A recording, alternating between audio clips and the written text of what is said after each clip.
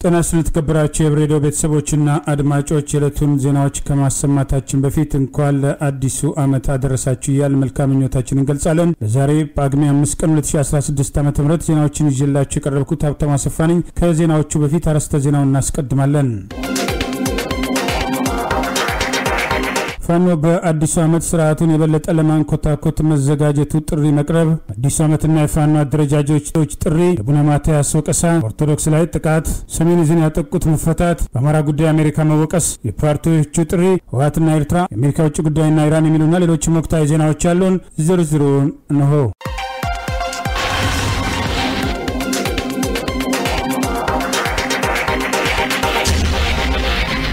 2016 ዓ ም የፋኖ እንቅስቃሴ የተጠናከረ የመጣበትና ኢትዮጵያውያን በተስፋ ፋኖ መቼ ይመጣል ብለው የሚጠብቁበትና 2017 ዓ ም እየተንገዳገደ ያለ የብልጽግና አገዛዝ ሙሉ ለሙሉ የሚንኮታኮትበትና የነጻነት ዓመት እንደሚሆን ፋኖ አስታወቀ። የፋኖን እንቅስቃሴ የቀረውም ኢትዮጵያዊ ትግሉን በመደገፍ በመቆም ነጻነቱን እንዲያፋጥን ጥሪ አቅርበዋል። የአማራ ፋኖ በጎጃም ምክትል ቃል አቀባይ ፋኖ ዮሐንስ አለማየሁ ዛሬ ጳጉሜ 5 ቀን 2016 ዓ ም የዓመቱን መሸኛና አዲሱን ዓመት አስታኮ በሰጠው አስተያየት 2017 ዓ ም የነጻነት ዓመት እንዲሆን የአማራ ፋኖ ብቻ ሳይሆን የሌሎች ብሔር ብሔረሰቦች ፋኖችም የሚታዩበት ነጻነታቸውን በጋራ እውን ለማድረግ ከፋኖ ጎን የሚቆሙበት ዓመት እንደሚሆን ገልጾ ዛሬ የመጨረሻ ቀን የያዘው 2016 ዓ ም በርካታ ድሎች የተገኙበት የአማራ ሕዝብ ቀና ብሎ በነጻነት የተንቀሳቀሰበት፣ በነጻነት የተዘዋወረበት፣ በነጻነት የሚፈልገው የተናገረበት፣ በነጻነት የሚፈልገው የሚሰራበት የነበረበት ወቅት ነው ማለት እንችላለን። ጠላት ንጹሃን መግደሉ፣ ንጹሃን ማሰቀቁ፣ ንጹሃን መደብደቡ፣ ማሰሩ የሚለው እንዳለ ሆኖ ማለት ነው። ሁለት ሺህ አስራ ስድስት ሙሉ በሙሉ እጅግ ወርቃማ ዓመት የነበረ አምና ያልነበሩንም መሳሪያዎች ከጠላት የማረክንበት አምና ያልነበረንን ጠንካራ የፋኖ መዋቅር ወይም አደረጃጀት ወይም ድርጅት ያልመሰረትንበት ዘንድሮ ግን በጣም የመሰረትንበት ሁለት ሺህ አስራ ስድስት ላይ ጠንካራ ጠንካራ የፋኖ አመራሮች ተቋም ሰራዊት መገንባት ማምጣት ችለናል። ህዝባችን ከኛ ጋር ማድረግ እንችለናል። ሙሉ የአፍሪካንም የኢትዮጵያንም የመላው ዓለምንም ህዝብ ትኩረት መሳብ ችለናል። ሁለት ሺህ አስራ ስድስት የዓለም ህዝብ ሁሉ ሚዲያው ሁሉ የአማራ ዝራይና ፋኖ እንዲያተኩር ማድረግ ትችላል። በዚህ ዛሬ የመጨረሻ ቀን የያዘው ሁለት ሺህ አስራ ስድስት ዓመተ ምህረት ሙሉ በሙሉ ለአማራው ወርቃማ ነው። ለጥቁር ኢትዮጵያን ደግሞ ትልቅ ተስፋ ነበር። መቼ ይመጣሉ? መቼ ታሚ ያሸምታል? መቼ ይደርሱልናል? እያሉ ሁሌም እኛን ተስፋ ሲያደርጉት የነበረበት ዓመት ነው። ይህ ዓመት እጅግ ጥሩ ነበር። የመጨረሻ ቀን ነው የምናገረው ዘንድሮ ከምንም በላይ ለአማራው ወርቃማ ሆኖ ከሆነ ሁለት ሺህ አስራ ሰባት ደግሞ ለመላው ኢትዮጵያ ህዝብ እርግጠኛ ነኝ እጅግ ወርቃማ ነው። እጅግ ወርቃማ ዓመት ለምን ከተባለ የኢትዮጵያ መከራ የሆነውን የብልጽግና ስርዓት ኢትዮጵያን ማቀርበሰውን የብልጽግና ስርዓት ኢትዮጵያን ያስደፈራትን ብሔር ያደረጋትን ኢትዮጵያን በዓለም አደባባይ የወረደች ሀገር እንድትሆን ያደረጋትን የብልጽግና ስርዓትን ሙሉ በሙሉ ቀብረን ለኢትዮጵያም ለዓለምም የሚመጠነው ስርዓተ መንግስት ለጥቁር ወገናችን ፍትህ፣ ነጻነት እና እኩልነትን የሚያስገኝ ስርዓት የምንመክርበት ዓመት ነው። ለዚህ ወርቃማ ዓመት ከወዲሁ እንኳን ያደረሳችሁ እንኳን ያደረሰን። ይህ እንግዲህ የሚሆነው በምኞት ሳይሆን በስራ ነው እና የተከበራችሁ ውድ የአማራው የተከበረው ውድ ህዝብ በተለይ በተለይ ደግሞ ሀሩርና ቁሩ ጋራና ሸንተረሩ ሳይበግረው ሁሉም ለኢትዮጵያ ለአማራው እየተዋደቀ ላለው የፋኖ አባልና አመራር ለድጋሜ እንኳን ያደረሳችሁ ማለት እፈልጋለሁ። ሁለት ሺ አስራ ስድስት የአማራ ፋኖ የአማራ ፋኖ የአማራ ፋኖ በዚህ ሚዲያ ሲዘገብበት social media ውን ሲያዳረሰው የነበረበት ዓመት ነው። ሁለት ሺ አስራ ሰባት ግን አማራው ብቻ ሳይሆን መላ ኢትዮጵያን የበጥብና ስርዓትን ለመጣል የምነሳበትና በጋራ የምንሰራበት መሆን አለበት። ይህን ባለን ቁመና እኛም እየሰራን ባለን አሰራር እና ሁኔታ በሁለት ሺ አስራ ሰባት ዓመተ ምህረት የኦሮሞ ፋኖ ይወለዳል፣ የትግሬ ፋኖ ይወለዳል፣ የግምት ፋኖ ይወለዳል፣ የአፋር ፋኖ ይወለዳል፣ የሶማሌ ፋኖ ይወለዳል፣ የጋምቤላ ፋኖ ይወለዳል፣ የጉራጌ፣ የሀዲያ፣ የከምባታ እና ሌላውም ብሔር ላይ ፋኖ ይወለዳል ያደርጋልም ለአንዴና ለመጨረሻ ጊዜ ስርዓት እንጥለዋለን። ይህ ስርዓት ምናልባት አማራውን በግፍ በአደባባይ ከምንም በላይ በከፋ መልኩ ስለበደለው፣ ስላፈናቀለው፣ ድሃ ስላደረገው የአማራ ህዝብ ቀድሞ ተነሷል። ይህ ይሁን እንጂ የብልጽግና ስርዓት ያልበደለው አንድም ብሔር አንድም ህዝብ የለም። የትኛውን ክልል ላይ ይህ ሀገሪቱ ላይ በሙሉ መፈናቀል፣ ስደት፣ እርሃብ፣ ግድያ እና ድህነት አለ። ኦሮሞ ላይ አለ፣ ጉሙዝ ላይ አለ፣ ትግሬ ላይ አለ፣ ሀዲያ ላይ አለ፣ ላይ አለ፣ ሶማሌ ላይ አለ፣ ሁሉ ላይ አለ፣ ሁሉ ላይ ጉራጌ ላይ አለ። ስለዚህ ባርነት፣ ጭቆና፣ መገደል፣ መፈናቀል፣ ድሃ መሆን፣ ስርዓት መሆን፣ ለማኝ መሆን ለአንዴና ለመጨረሻ ጊዜ አሁን ሊበቃ ይገባዋልና የተከበራችሁ ሙሉ መላ ኢትዮጵያ ከአማራ ፋኖ ጋር ከአማራ ጋር ታግለን ይህ ጠላት ለአንዴና ለመጨረሻ ጊዜ መቅበር ስላለብን ከጎን ያሰለፉ ጥሪ ማቅረብ እፈልጋለሁ። የአብይ አገዛዝ የኦሮሞ ህዝብን ለማስጠላትና ስልጣኑን ለማስቀጠል የሚያደርጋቸው እንቅስቃሴዎች እየተዳከሙ መምጣታቸውን በመገንዘብ ጭምር የኦሮሞ ህዝብ ትላንትም ነበር፣ ዛሬም አለ፣ ነገም ይኖራል። ስርዓቱን ወደ ጎን በማድረግ ትግሉን ደግፎ እንዲቆም ጭምር ጥሪ አቅርበዋል። አልገባቸውምና በደንብ አላሰቡበት መሰለኝ እንጂ የብልጽግና ስርዓቱን ከአማራው በላይ መታገል፣ መግደል፣ መቅበር ያለበት የኦሮሞ ህዝብ ነበር። ለምን ተደራለ? ብልጽግና ስርዓት አማራውን ከምንም በላይ ገሎታል፣ አሳዶታል፣ ይህ አድርጎታል፣ ጨቆታል። የኦሮሞ ህዝብ ግን ኢትዮጵያ ውስጥ ካሉ የትኛውን ብሔር ብሔረሰብ እንዲጣላ፣ እንዲጋጭ፣ እንዲጠላ አልሽ እንዲባል ያደረገው የብልጽግና ስርዓት ነው። ብልጽግና ይወርቃል፣ ይሄ ወርቋልም። ብልጽግና አለ፣ ብልጽግና መንግስቱ ቀጣይ ይመራዳል ብሎ የሚያስብ ሰውም ድርጅትም ክልልም ህዝብም ካለ ይሄ አሁን እየኖር ያለው ነገር የማይረዳ አካል ነው። ብልጽግና ሞታል። ስለዚህ አስር አመት ቆሰጠ ለሚሞት ድርጅት ህዝብ ከያንስና ወንድሞች ጋር መጠላለም አብሮና ተባብሮ ከምኖረው የኢትዮጵያ ጋር መጣላት የለበትም። የኦሮሞና ስርዓት የኦሮሞ ህዝብ አይወክልም እና የአህመድ የኦሮሞ ህዝብ አይወክሉም። ከምንም በላይ እያስጠላህ እንድትተናጠል አብረህ ከእህትና ከወንድምህ ጋር እንዳትኖር እያደረገ ያለውን የብልጽግና ስርዓት ምንጥረው ዘንድ የተቀበልከው የኦሮሞ ህዝብ ከወዲሁ ከኛ ጋር እንስራ፣ ይህ በጋራ እንቁም፣ ይህ በጋራ እንታገል፣ ይህን ስርዓት እንቅበረው። ከዛ አብሮ ይቀጥላል። ከወደ ተጠላም የብልጽግና ስርዓት ሞቷል፣ ተቀብሯል። መንግስቱ አይቀጥልም። የኦሮሞና የአማራ ህዝብ ግን በጋራ ይቀጥላል። ብፁዕ አቡነ ማትያስን ጨምሮ የሃይማኖት አባቶች አዲሱን ዓመት አስታከው መልእክት አስተላልፈዋል። ብፁዕ አቡነ ማትያስ የእርስ በርስ ግጭት፣ ረሃብ፣ ጦርነት፣ ድህነት፣ ኋላቀርነት፣ የመልካም አስተዳደር እጦት በዓለም ፊት ልዩ መለያችን ሆኗል። ይህንኑ አጠናክረን ቀጥለናል። ልናፍርበትና ንስሐ ልንገባበት እንጂ ልናስቀጥለው አይገባም ሲሉ ጥሪ አቅርበዋል። የኢትዮጵያን አዲስ ዓመት አስታከው የሃይማኖት አባቶች ለአዲሱ ዓመት መልእክት ያስተላለፉት ሲሆን የኢትዮጵያ ኦርቶዶክስ ተዋሕዶ ቤተ ክርስቲያን ሊቀ ጳጳስ ብፁዕ ቅዱስ አቡነ ማትያስ አዲሱን ዓመት አስታከው በሰጡት መግለጫ ላይ እግዚአብሔር እንኳን ከዘመነ ዮሐንስ 2016 ዓ ም ወደ ዘመነ ማቴዎስ 2017 ዓ ም በሰላም አደረሳችሁ በማለት መልካም ምኞታቸውን የገለጹ ሲሆን ኢትዮጵያ ያለችበትን ወቅታዊ ሁኔታን በተመለከተ በመግለጫቸው ጠቅሰዋል። እኛ ኢትዮጵያውያን ለብዙ ዘመናት የታደሱ ያይደሉ በርካታ ዓመታት ተጭነውን አልፈዋል። ቀድሞ እንበልጣቸው ከነበሩ ሀገራት በታች ሆነን በርካታ ዓመታትን አስቆጥረናል። የእርስ በርስ ግጭት፣ ረሃብ፣ ጦርነት፣ ድህነት፣ ኋላቀርነት፣ የመልካም አስተዳደር እጦት በዓለም ፊት ልዩ መለያችን ሆኗል። ዛሬም ከዚህ ያልተላቀቅንም ብቻ ሳይሆን እንዲያውም ማጠናክረን ለማስቀጠል ውል የገባን እስኪመስል ድረስ እየቀጠልንበት እንገኛለን በማለት በእውነቱ እንዲህ የመሰለ ልምድ ልናፍርበትና ንስሐ ልንገባበት እንጂ ልናስቀጥለው አይገባም ሲሉ ጥሪ አቅርበዋል። ኢትዮጵያ ሁሉም ኢትዮጵያውያን ናት የሚለውን ጥሬ ሀቅ በደንብ አላምጠን መዋጥ አለብን ያሉት ብፁዕነታቸው ከዚያም በእኩልነትና በአንድነት ሀገራችን እናድስ፣ ከሌሎች በደባል የሚመጡ ነገሮችን ሳይሆን የሀገሪቱ በሆኑ እሴቶች እንመራ። ለበርካታ ዓመታት የተሸከምነው ደባል የአስተዳደር ስል ከኢትዮጵያ ሕዝብ ጋር የሚጣጣም ሆኖ አልተገኘም። የኢትዮጵያ ሕዝብ ከምንም ከማንም በላይ በፈጣሪው እንደሚመካ እሱንም አጥብቆ እንደሚያምን ሊቃኖቻችን ተገንዘቡልን ሲሉ ጥሪ አቅርበዋል። እኛ ኢትዮጵያን ከሶስት ሺህ ዓመት በላይ ባስቆጠረ ታሪካችን ከእግዚአብሔር ተለይተን አናውቅም። በዚያም ተጠቃሚዎች እንጂ ተጎጂዎች የሆንበት ጊዜ የለም። በለመደው እምነት ባህልና እሴት ሕዝቡን ብንመራው ሁሉም ነገር ቀላል ይሆንልናል። ከዚህ ውጭ እንምራህ ብንለው ግን ያጋጠመንን ችግር ማስቀጠል ነው የሚሆነው። ስለዚህ የሁሉም መነሻ ማለትም የክፋትም ሆነ የደግነት መነሻ ውስጣዊ አእምሯችን ነውና እሱን በማደስ በአዲሱ ዓመት አገራችን እንድናደስ በዚህ አጋጣሚ ጥሬን አስተላልፋለሁ በማለት አዲሱ ዘመን በሃይማኖት መንፈስ ግጭትን በውይይት መለያየትን፣ በአንድነት አለመግባባትን በእርቅ ፈተን በመታደስ ማማ ላይ የቆመ ማህበረሰብን ለመገንባት ሁላችንም ጥረት እናድርግ፣ በእግዚአብሔር ስም መልእክታችን እናስተላልፋለን በማለት የታሰሩት እንዲፈቱ፣ የታመሙት እንዲድኑ፣ የተቸገሩት እንዲታገዙ ጥሪ አቅርበዋል። የኢትዮጵያ እስልምና ጉዳዮች ጠቅላይ ምክር ቤት ፕሬዚዳንት ሺህ ሀጂ ኢብራሂም ቱፋ በበኩላቸው ኢትዮጵያ የተለያዩ ሃይማኖት ተከታዮች በሰላምና በፍቅር ተቻችለውና ተከባብረው የሚኖሩባት ሀገር መሆኗን በመጥቀስ ሁሉም ይህንን ተቻችሎ የመኖር ልምዱን አጠናክሮ እንዲቀጥል ሲሉ ጥሪ አቅርበዋል። የኢትዮጵያ ካቶሊክ ቤተ ክርስቲያን ሊቀ ጳጳስ ብፁዕ ካርዲናል አቡነ ብርሃነ ኢየሱስ በበኩላቸው በአዲሱ ዓመት ለለውጥ መዘጋጀት ያስፈልጋል ሲሉ ጥሪ ያቀረቡ ሲሆን አዲሱ ዓመት ለሀገር ሰላምና እድገት የምንሰራበትና የተቸገሩትን የምናግዝበት የአንድነት የይቅርታና የምህረት ሰላም የሰፈነበት ዘመን እንዲሆን መልካም ምኞታቸውን ገልጸዋል። የኢትዮጵያ ወንጌላውያን አብያተ ክርስቲያናት ህብረት ፕሬዚዳንት ፓስተር ጻድቁ አብዶ አዲሱ ዓመት ከቤተሰብ አንስቶ በአገር ደረጃ ለሰላም የምንጸልይበትና የምንተገብርበት ዘመን እንዲሆንልን ሲሉ መልካም ምኞታቸውን የገለጹ ሲሆን በአዲሱ ዓመት እርስ በርስ በመከባበርና በትጋት በመስራት ሰላም እንዲሰፍን መንፈሳዊና አገራዊ ኃላፊነት መወጣት ይገባናል ሲሉ ጥሪ አቅርበዋል። ይህ በእንዲህ እንዳለ በአዲስ አበባ የሚገኘው የአሜሪካ ኤምባሲ ሰራተኞች ለአምባሳደር ኤርቪን ማሲንጋ በባየዎች የጨፈሩ ሲሆን አምባሳደር ማሲንጋ ከኤምባሲው ሰራተኞች ጋር የመልካም አዲስ ዓመት መልካም ምኞታቸውን ያስተላለፉ ሲሆን አበባየዎች ለጨፈሩት ሰራተኞች ስጦታ ሲሰጡ የሚያሳይ ቪዲዮ ይፋ ሆኗል።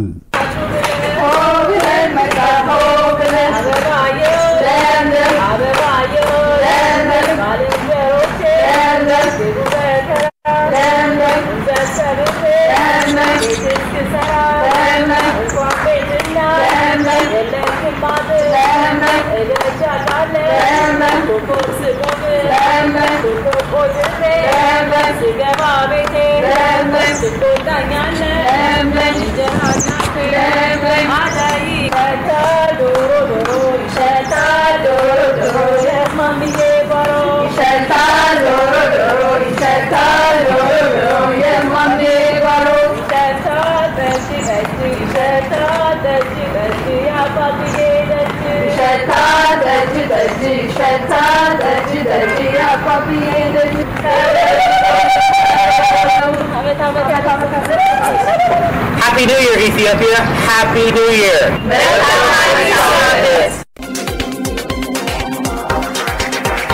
የፋኖ ትግል በአዲሱ ዓመት ወደ ሁለተኛው ምዕራፍ የሚሸጋገርበትና አራት ኪሎን መቆጣጠር አይቀሬ መሆኑን በግልጽ ያሳየበት መሆኑን የአማራ ፋኖ በጎንደር ጉና ክፍለ ጦር ስር የሚገኘው ስቴት ደንሳ ብርጌድ አስታወቀ። የአማራ ሕዝብ አብይ አገዛዝ የተከፈተበትን ጦርነት በመቋቋም በአራቱም አቅጣጫዎች በፋኖ ልጆቹ እያደረገ ያለው ተጋድሎ የተጠናከረ የመጣበትና አንደኛው ምዕራፍን በስኬት በአዲሱ ዓመት ወደ ሁለተኛ ምዕራፍ የሚያሸጋግርበትና አራት ኪሎን መቆጣጠር የማይቀር መሆኑን በግልጽ መረዳት የተቻለበት ዓመት መሆኑን የአማራ ፋኖ በጎንደር ጉና ክፍለ ጦር ስቴት ደንሳ ብርጌድ አስታወቀ። የስቴት ደንሳ ብርጌድ ቃል አቀባይ ፋኖ ማረው ክንዱ ለአዲሱ ዓመት ባስተላለፈው መልካም ምኞት በፋኖ በኩል እየተደረጉ ያሉት ተጋድሎዎች ተጠናክረው መቀጠላቸውና ነጻነት የማይቀር መሆኑን ሁሉም ተባብሮ እንዲቆም ጥሪ አቅርበዋል። እሺ የአማራ ፋኖ ጉና ክፍለ ጦር ስቴደንሳ ብርጌድ ከህዝብ ግንኙነት ማራው ክንዱ ነኝ።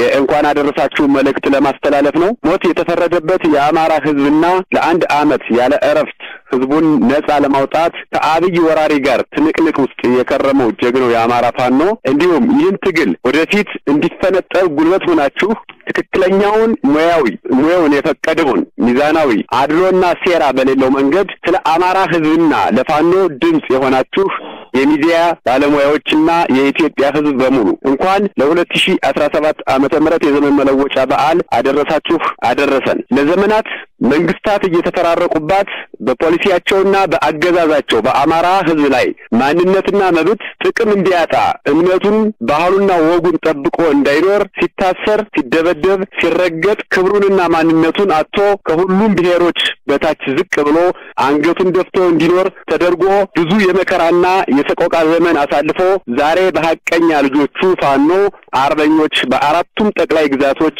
ዳር እስከ ዳር የህዝብ ንቅናቄ የነጻነት ትግል ችቦ ለኩሶ ከአማራው ጠላት ከሆነው አብይ አህመድ ብልጽግና ብሎ ከሚጠራው ወይም ብልግና አገዛዝ ወራሪ ጋር አንገት ለአንገት ተናንቆ በመፋለም መስዋዕት እየከፈለ ወራሪውን እየደመሰሰ ከባድ ከከባድ እስከ ቀላል መሳሪያ ማርኮ በመታጠቅ ድል በድል ተጎናጽፎ ከአንደኛው ምዕራፍ ወደ ሁለተኛው ምዕራፍ አራት ኪሎ ለመግባት ቅርብ እንጂ ሩቅ አይሆንም። ህዝባዊ የነጻነት ትግል ዛሬ አልተጀመረም። ጣሊያን ኢትዮጵያን ወሮ ቅኝ ሊገዛ በመጣበት ጊዜ መሪ አጼ ምኒልክ በአስራ ዘጠኝ ሰማንያ ስምንት ዓመተ ምህረት ምታ ነጋሪት ክትት ሰራዊት ብለው አውጀው የኢትዮጵያ ህዝብ ዳር እስከ ዳር ተንቀሳቅሶ አንድ ሰው ቢቀር ማርያምን አልምርም ብለው በተናገሩት መሰረት ጋሻውን ጦሩና ጎራዴውን ይዞ እንደ መስከረም ህዝቡ ተሞ አድዋ ላይ ተገኝቶ ጣሊያን እስከ አፍንጫው ድረስ ብረት ለብሶና ጎርሶ በዘመናዊ መሳሪያ ታጥቆ በአየርና መድፍ ታንክ እየታገዘ የነበረውን ጠላት የኢትዮጵያ አርበኞች ህዝብ በጋሻ መክቶ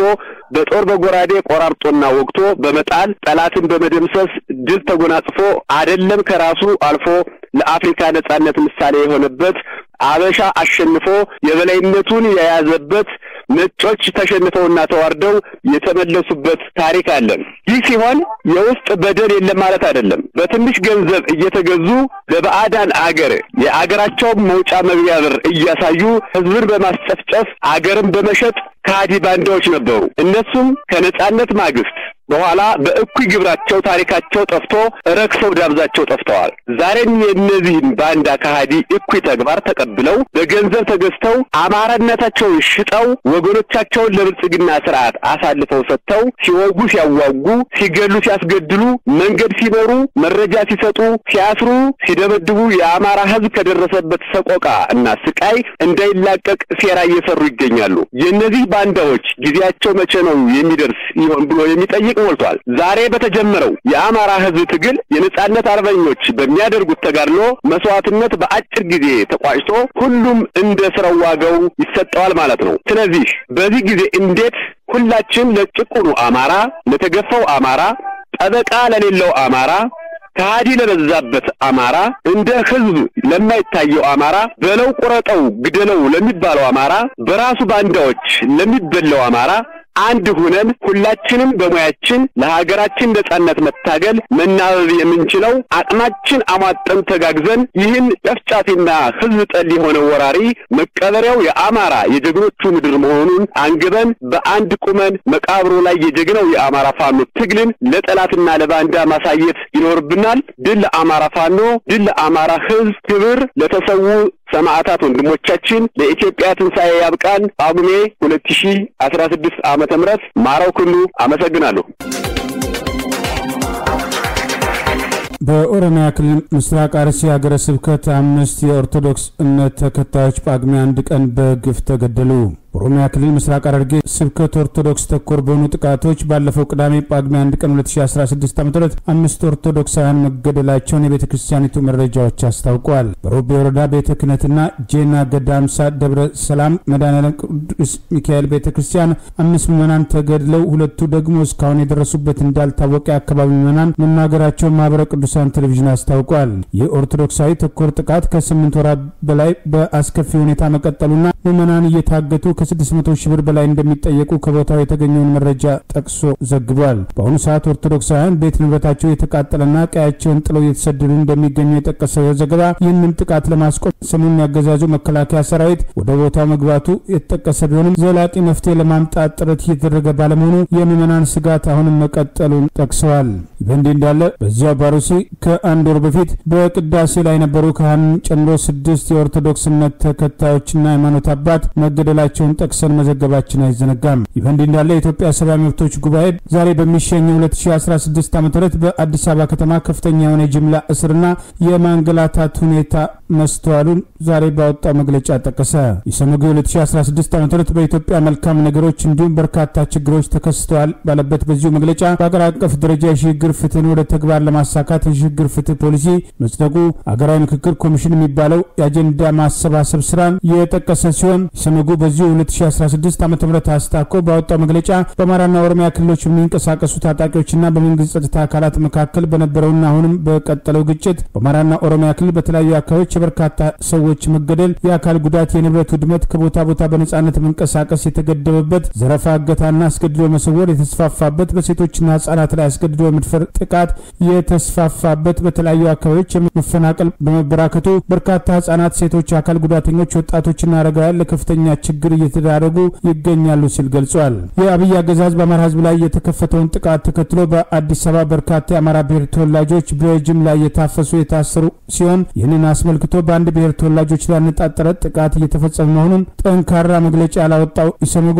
በአዲስ አበባ ከተማ ከፍተኛ የሆነ የጅምላ እስርና ማንገላታት በ2016 ዓ ም መፈጸሙን በዚሁ መግለጫ ጠቅሰዋል። በአብዛኛው ማንነት መሰረት ያደረገ እንደነበር የጠቀሰው መግለጫ በቀድሞ በደቡብ ብሔር ብሔረሰቦች ህዝቦች ክልል ከመዋቅር ጥያቄዎች ጋር ተያይዞ የነበሩ ግጭቶች፣ በጋምቤላ ክልል በተደጋጋሚ የጎሳ ግጭት የተስተዋለበት እነዚህ ግጭቶች ዘርፈ ብዙ የሆኑ ሰብአዊ መብቶች ጋዜጠኞች፣ አርቲስቶች፣ የተፎካካሪ ፓርቲ አባላት፣ የክልል ምክር ቤት አባላት እንዲሁም የህዝብ ተወካዮች ምክር ቤት አባላት ያለመከሰስ መብታቸው ባልተነሳበት ሁኔታ የታሰሩበት ዓመት ነው ሲል በመግለጫው ጠቅሷል። ኢሰመጉ በአዲሱ ዓመት አገዛዙ ከህግ አግባብ ውጭ ያሰራቸውን ጋዜጠኞች፣ የማህበረሰብ አንቂዎች፣ የተፎካካሪ ፓርቲ አባላት ፍትሐዊ በሆነ መንገድ ጉዳያቸው በህግ አግባብ የሚታይበትን ሁኔታ እንዲያመቻች በተለያዩ የአገሪቱ ክፍሎች በዘፈቀደ የሚፈጸሙ ህገወጥ እስሮች፣ አስገድዶ መሰወሮችና በተገቢው ጊዜ ፍርድ ያለማቅረብ ድርጊቶች እንዲቆሙ ሲል ጥሪ አቅርበዋል። የአብይ አገዛዝ ለአራት ዓመታት ያለ ፍርድ ቤት ትዕዛዝ አስሯቸው የቆዩ የኦነግ አመራሮችን ሰሞኑን መልቀቁን ተከትሎ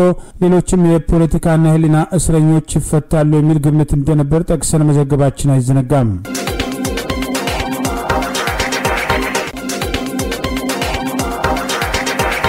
የአማራ ፋኖ በጎጃም ዛሬን ጨምሮ ሰሞኑን ያካሄዳቸውን ውጊያዎች ተከትሎ በጠላት ላይ ድል መቀዳጀቱን አስታወቀ። ባለፉት አንድ ወራት በተለያዩ መድረኮች ከክፍለ ጦር ጀምሮ በየደረጃው ሲሰጣቸው የነበሩ ስልጠናዎችና ከህዝብ ጋር ሲያካሄዳቸው የነበሩ መድረኮች የተሳኩ እንደነበር አስታውቋል።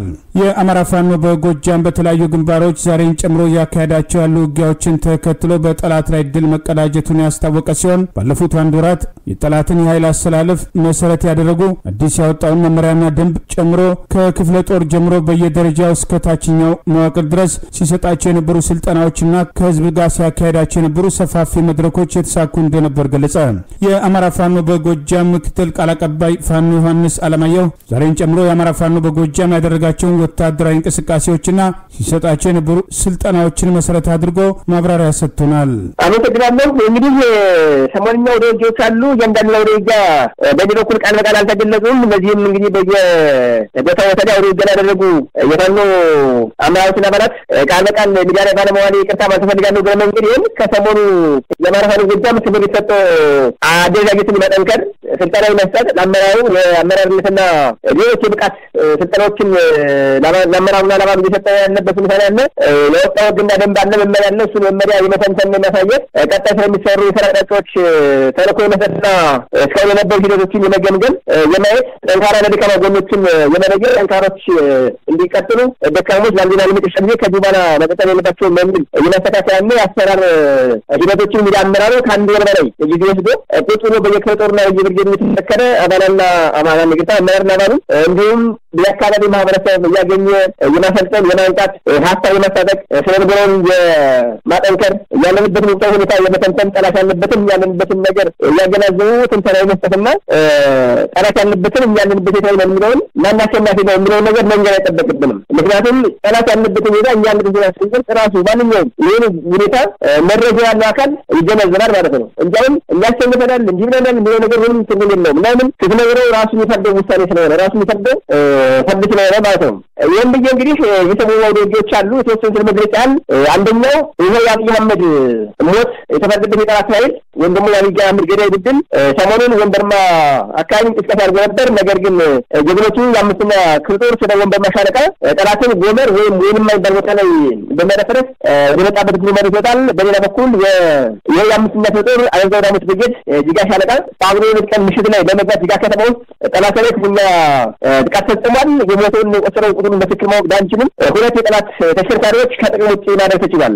ሌላው ጳጉሜ ሶስት ጠላት ልክ ብዙ ቦታዎች ላይ እንደሚያደርገው ስርቆ ይህ ወንጀ ማርያም የሚባል አካባቢ ላይ ቋሚ የሆነ ቀረጥ ጥሎ ማህበረሰቡን እየቀረጸ የገደለ እያስቸገረ ያለበት ሁኔታ ነበረ። የመከላከያና የአድማንሰና ጥምር ጦር ነበር ቀረጥ ጣለው ጀግኖቹ አለንዛው ዳሞት ብርጌድ የጅጋ ሻለቃ ልጆች ቀጥታ ቀረጥ ማስቆም አለብን። ጠላት በየትኛውም ታምር በጭራሽ ቀረጥ ጥሎ ገንዘብ መሰብሰብ የለበትም፣ ህዝባችን መሰቃየት የለበትም፣ አሽከርካሪ መሳቀቅ የለበትም በሚል ጠላት ላይ ባደረጉት ውጊያ ጠላትም ምትናቀስ የሚያደርገው ቀሪውን ያባረው ሙሉ ቀጠናው ነጻ ተችሏል። ከጳጉሜ ሶስት ጀምሮ አካባቢ ነጻ በመሆኑ ተሽከርካሪም ህዝቡም እንደ ነጻነት ያለበት ሁኔታ አለ። ሌላው በዜሮ አራት ጳጉሜ ማለት ነው አራተኛ ወይም ጃዊ ክፍለ ላይ የተደረገ አንድ ውጊያ አለ። ይህ ከመብረቁ ብርጌድ ከኤፍሬም እንጥነህ ብርጌድ እና ከራውሰናይ ብርጌድ የተወጣጣ ኃይል ነበር የነበረው ቤት የሚባል ቀበሌ ላይ ጠላትን በመያዝ ሁኛ መጥቶታል። እስካሁን ባለ ተጨባጭ መረጃ አስራ ሁለት የጠላት ሞት ተደርጓል። ስምንት የጠላት ኃይል ቁስለኛ ሆኗል። ዛሬ በጳጉሜ አምስት ቀን እንግዲህ የዓመቱ የመጨረሻው ቀን ማለት ነው ጠላት ከሙሉ ወጥቶ ወደ ደረቋ የሚባል አካባቢ እንቅስቃሴ አድርጎ ነበር እና ይሄ አምባኝ የሚባል ቀበሌ ላይ በመያዝ የአምስተኛ ክፍለ ጦር ደጃጋ ስብ በሄዳነት ብርጌድ እና አረንጋው ዳሞት ብርጌድ በጋራ በመሆን ጠላትን kata-kata ada dia kata nak medical check tu kan? ሰሜን ዕዝ ላይ ጥቃት ፈጽሟል በሚል በጦር ፍርድ ቤት እስከ ሞት ድረስ የተፈረደባቸው 178 የትግራይ ተወላጅ የመከላከያ ሰራዊት አባላት በነፃ መልቀቁን ያገዛዙ መከላከያ አስታወቀ።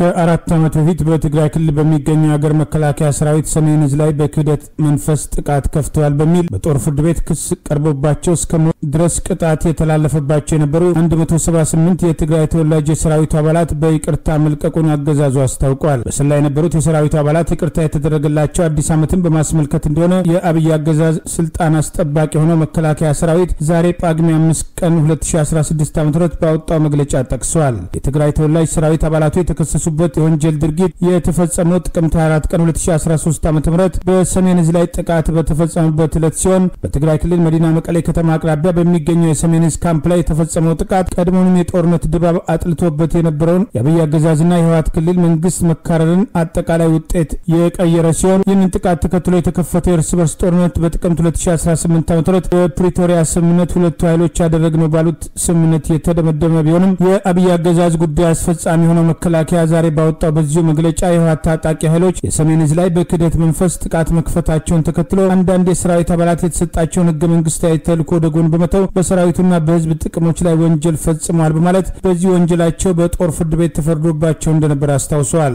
እነዚህ ፍርደኞች ያቀረቡት የይቅርታ ጥያቄ ለይቅርታ ቦርድ ቀርቦ በ2006 ዓ ም በወጣው የይቅርታ አሰጣጥና አፈጻጸም ስነ ስርዓት አዋጅ መሰረት እንደታየ የጠቀሰው መግለጫ የሰራዊት አባላቱን ይቅርታ ጥያቄ የተመለከተው ቦርድ በአዋጁ ላይ የተቀመጠውን ይቅርታ ማድረግ የሚያሳካላቸውን ዓላማዎች ከግምት እንዳሱ ገባም ጠቅሷል። የአብይ አገዛዝ በህወሓት በኩል የሚደረገውን ዲፕሎማሲያዊ ጫናና የውስጥ ድርድር መሰረት አድርጎ ሰሜን እዝ ላይ ጥቃት ያደረሱት የትግራይ ተወላጅ የአገዛዙ ስልጣን አስጠባቂ ጦር አባላትን በምህረት ለመፍታት በአደባባይ የሰጠው ምክንያት በቂ አለመሆኑን የሚጠቅሱ አስተያየቶችም ውሳኔውን ተከትሎ እየወጡ ሲሆን ህወሓት ጋር ስምምነት በማድረግ ስልጣኑን ለማስቀጠል የሞከረው አብይ አህመድ በአማራ ህዝብ ላይ ክህደት ከመፈጸም አልፎ ትጥቅ አስፈታለሁ በሚል የጀመረው ጦርነት ዓመት በላይ የዘለቀ ቢሆንም ይህንን ጦርነት ሽፋን በማድረግ በርካታ የአማራ ብሔር ተወላጅ ሰላማዊ ሰዎችን፣ ጋዜጠኞችን፣ ማህበራዊ አንቂዎችን በግፍ አፍሶ ዛሬን በአስር ሺህ የሚቆጠሩ የህሊና እና የፖለቲካ እስረኞች የሚታወቁት እነ መስከረም አበራ እና አቶ ክርስቲያን ታደለን ጨምሮ የማይታወቁት ጭምር በሚታወቁና በማይታወቁ እስር ቤቶች ውስጥ ግፍ እየተፈጸመባቸው ሲሆን የአብይ አገዛዝ ስልጣን አስጠባቂ ጦርም በጭካኔ ሰላማዊ ሰዎችን ጭምር እየረሸነና እየጨፈጨፈ ዛሬም ጦርነቱን መቀጠሉ እርምጃው የጸረ አማራው ቡድን ትብብርና ስምምነትን የሚያሳይ በተቃራኒ የአማራ ህዝብ የተከተፈተበት ጦርነት በማንነቱ ሳቢያ ያነጣጠረ መሆኑን ተጨማሪ ግልጽ ማሳያ መሆኑን የሚጠቅሱ አስተያየቶችም ተከትለው ቀርበዋል። የአብይ አገዛዝ ሰሞኑን ከአራት ዓመት የፍርድ ቤት ውሳኔ እምቢተኝነት በኋላ ሰባት የኦነግ አመራሮችን ከእስር የለቀቀ ሲሆን እዚህን መለቀቅ ተከትሎ ሌሎች የፖለቲካ እስረኞች ይፈታሉ የሚል ግምት እንደነበር መረጃዎችን ጠቅሰን መዘገባችን አይዘነጋም። አሜሪካ የአብይ አገዛዝ በአማራ ህዝብ ላይ የዘር ማጥፋት ወንጀል እየፈጸመ በዓለም አቀፍ የገንዘብ ድርጅት አይኤምኤፍ እና የዓለም ባንክ አማካኝነት የፋይናንስ ድጋፍ ማድረጓ ፕሬዚዳንቱ ካራዘሙት ማዕቀብ ጋር የሚመጥን ጫና በአስተዳደሩ ላይ እያደረገች እንዳልሆነ የአማራ ማህበር በአሜሪካ ወቀሰ። የአማራ ማህበር በአሜሪካ የአሜሪካው ፕሬዚዳንት ጆ ባይደን ከሰሜን ኢትዮጵያ ጦርነት ጋር በተያያዘ ባለስልጣናት ላይ ማዕቀብ መጣል የሚያስችለው ፕሬዚዳንታዊ ትዕዛዝን ለተጨማሪ አንድ ዓመት እንዲራዘም ማድረጋቸው አገራዊ አስቸኳይ ሁኔታውን በመረዳት በአማራ ላይ ለተከፈተው ጦርነት እውቅና መስጠት ይሁን እንጂ በተቃራኒው አሜሪካ በኢትዮጵያ ውስጥ ለሚፈጸሙ የሰብአዊ መብት ጥሰቶች ተጠያቂነትን ለማስፋት ያላትን ኃይል ግን እየተጠቀመች አይደለም በማለት የማህበሩ ሊቀመንበር አቶ ቴድሮስ ትርፌ በአፍሪካ ሪፖርት ላይ ባወጡት መጣጥፍ በዝርዝር ገልጸዋል። ፕሬዚዳንት ጆ ባይደን ባለስልጣናት ላይ ጭምር ማዕቀብ ለመጣል የሚያስችለው እግድ በአንድ ዓመት እንዲራዘም መደረጉን በበጎ የተመለከቱት አቶ ቴድሮስ ትርፌ ነገር ግን አሜሪካ አብይ መንግስት በአማራው ላይ የዘር ማጥፋት ወንጀል እየፈጸመ እንደሆነ እያወቀች አይኤምኤፍ እና የዓለም ባንክ የገንዘብ ድጋፍ እንዲያደርጉ መፍቀ ዷ በስጋት አይተውታል። በተጨማሪም አሜሪካ ይህን ዘር ጭፍጨፋ በተለይም የትግራይ ግጭት ካቆሙ በኋላ በአግባቡ ያላወገዘች ሲሆን በኢትዮጵያ ውስጥ ያሉ የተለያዩ ግጭቶችና ተያይዘው የሚመጡ ሰብአዊ ችግሮችና የሰብአዊ መብት ጥሰቶችን ከመፍታት አንጻር ወጥነት የጎደለው እንቅስቃሴን ማድረጓን ጭምር በማንሳት አሜሪካ ተገቢውን ጫና እያደረገች አለመሆኑን ለማሳየት ሞክረዋል። ይህ በእንዲህ እንዳለ ሰሞኑን የአሜሪካ ፕሬዚዳንት ጆ ባይደን ከሰሜን ኢትዮጵያ ጦርነት ጋር በተያያዘ ባለስልጣናት ላይ ጭምር ማዕቀብ መጣል የሚያስችለውን ፕሬዚዳንታዊ ትዕዛዝ ለተጨማሪ አንድ ዓመት ከማብቃቱ በፊት ያራዘሙት ሲሆን ፕሬዚዳንቱ አርብ ጳጉሜ 1 ቀን 2016 ዓ ም በጻፉት ደብዳቤ የኢትዮጵያ ሰላም ደህንነትና መረጋጋትን አደጋ ላይ ጥሎ የቆየው በሰሜን ኢትዮጵያ ያለው ሁኔታ አሁንም የአሜሪካ ብሔራዊ ደህንነትና የውጭ ፖሊሲ ላይ የማይገመት አደጋ ደቅነዋል ብለዋል።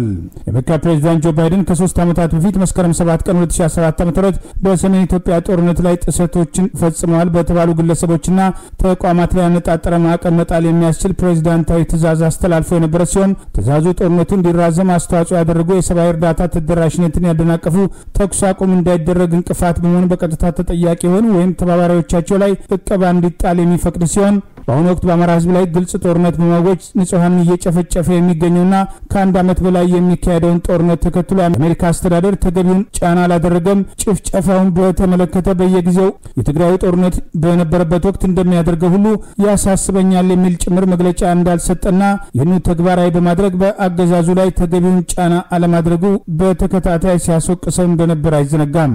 የፕሬዚዳንቱ ባለስልጣናት ላይ ማዕቀብ የሚያስችለው ትዕዛዝ እንዲራዘም መደረጉ ብቻ ሳይሆን ማዕቀብ ሊጣል የሚገባቸው በአማራ ህዝብ ላይ ጦርነት የከፈተ የአብይ አገዛዝ አብይ አህመድን ጨምሮ ዋና ዋና ባለስልጣናቱና ጭፍጨፋውን ተግባራዊ ያደረጉ ወታደራዊ አዛዦች የአሜሪካ አስተዳደር በትክክል የሰብአዊ መብት ጉዳይ የሚያሳስበው ከሆነ ማዕቀብ ሊጥልና ጫና ሊያደርግ ይገባ እንደነበር በተደጋጋሚ በቅሬታ ሲነሳ መቆየቱ አይዘነጋም።